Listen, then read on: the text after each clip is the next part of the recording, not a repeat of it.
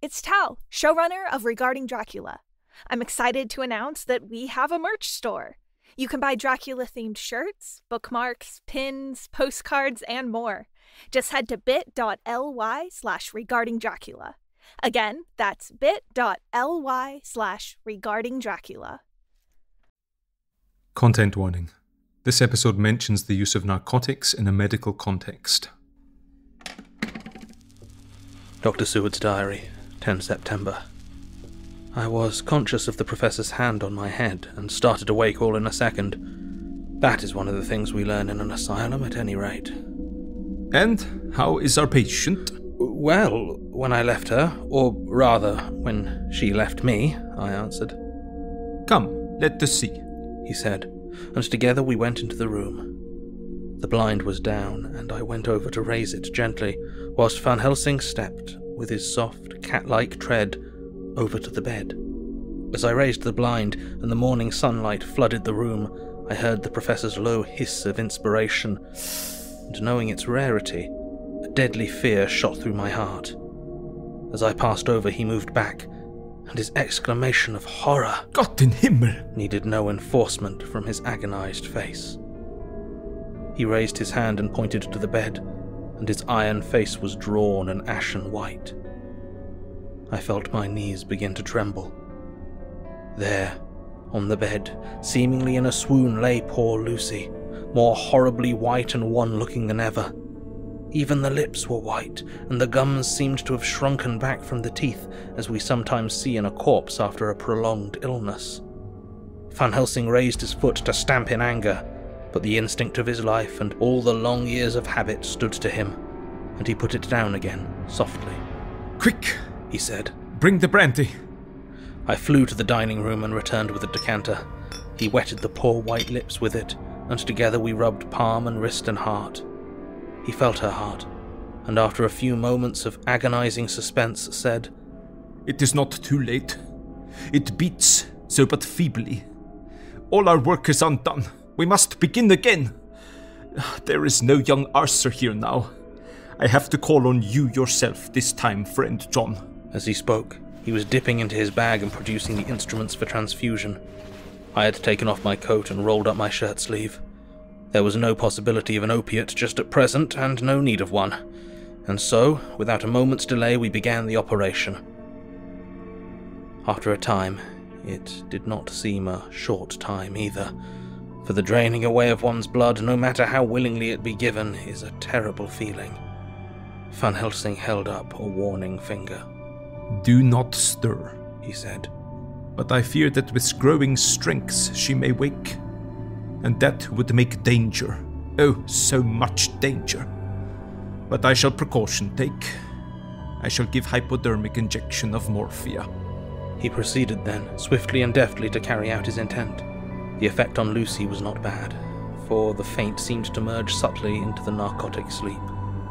It was with a feeling of personal pride that I could see a faint tinge of colour steal back into the pallid cheeks and lips. No man knows till he experiences it what it is to feel his own lifeblood drawn away into the veins of the woman he loves. The professor watched me critically. That will do, he said. Already? I remonstrated. You took a great deal more from Art. To which he smiled a sad sort of smile as he replied, He is her lover, her fiancé. You have work, much work, to do for her and for others. And the present will suffice. When we stopped the operation, he attended to Lucy, whilst I applied digital pressure to my own incision. I laid down whilst I waited his leisure to attend to me, for I felt faint and a little sick. By and by, he bound up my wound and sent me downstairs to get a glass of wine for myself. As I was leaving the room, he came after me and half whispered, Mind, nothing must be said of this. If our young lover should turn up unexpected as before, no word to him. It would at once frighten him and enjealous him too. There must be none. So, when I came back, he looked at me carefully and then said, You are not much the worse. Go into the room and lie on your sofa and rest a while. Then have much breakfast and come here to me. I followed out his orders, for I knew how right and wise they were. I had done my part, and now my next duty was to keep up my strength. I felt very weak, and in the weakness lost something of the amazement at what had occurred. I fell asleep on the sofa, however, wondering over and over again how Lucy had made such a retrograde movement, and how she could have been drained of so much blood with no sign anywhere to show for it. I think I must have continued my wonder in my dreams, for sleeping and waking, my thoughts always came back to the little punctures in her throat and the ragged, exhausted appearance of their edges, tiny though they were. Lucy slept well into the day, and when she woke, she was fairly well and strong, though not nearly so much so as the day before. When Van Helsing had seen her, he went out for a walk, leaving me in charge with strict injunctions that I was not to leave her for a moment. I could hear his voice in the hall, asking the way to the nearest telegraph office. Lucy chatted with me freely and seemed quite unconscious that anything had happened. I tried to keep her amused and interested, when her mother came up to see her, she did not seem to notice any change whatever, but said to me gratefully, Oh, we owe you so much, Dr. Seward, for all you've done, but, uh, well, you really must now take care not to overwork yourself. You're, you're looking rather pale yourself. Uh, you, uh, you want a wife to nurse and look after you a bit, hmm? That you do. As she spoke, Lucy turned crimson, though it was only momentarily, for her poor wasted veins could not stand for long such an unwanted drain to the head. The reaction came in excessive pallor as she turned imploring eyes on me. I smiled and nodded, and laid my finger on my lips. With a sigh, she sank back amid her pillows. Van Helsing returned in a couple of hours, and presently said to me, now you go home and eat much and drink enough. Make yourself strong. I stay here tonight, and I shall sit up with little miss myself. You and I must watch the case, and we must have none other to know. I have grave reasons. Do not ask them. Think what you will. Do not fear to think even the most not probable. Good night. In the hall, two of the maids came to me and asked if they or either of them might not sit up with Miss Lucy.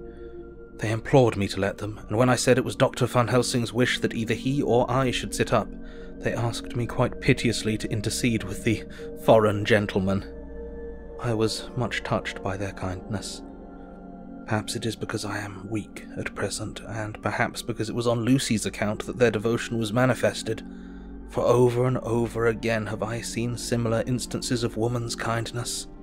I got back here in time for late dinner, went my rounds, all well, and set this down whilst waiting for sleep. It is coming.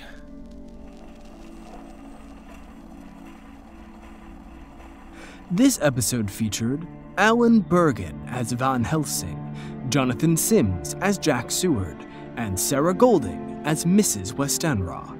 Directed by Hannah Wright, dialogue editing by Stephen Indrisano, sound design by Tal Minear, featuring music by Travis Reaves and Brad Colbroock.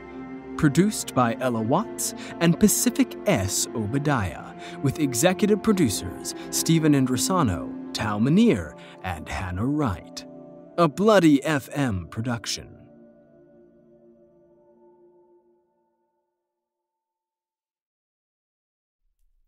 Hey, it's Tal, showrunner of Regarding Dracula.